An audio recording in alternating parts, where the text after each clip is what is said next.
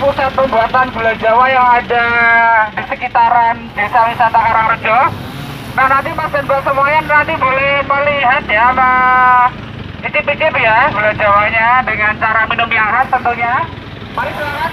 Yang sudah dirasa cukup kita bisa jalan lagi dulu. Gula Jawa teh anu dina lagu teh ayahnya. Gula Jawa.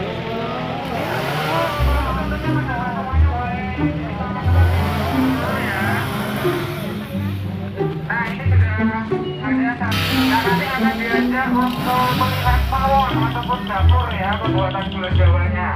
Silakan Mbak semuanya dari garis boleh langsung masuk.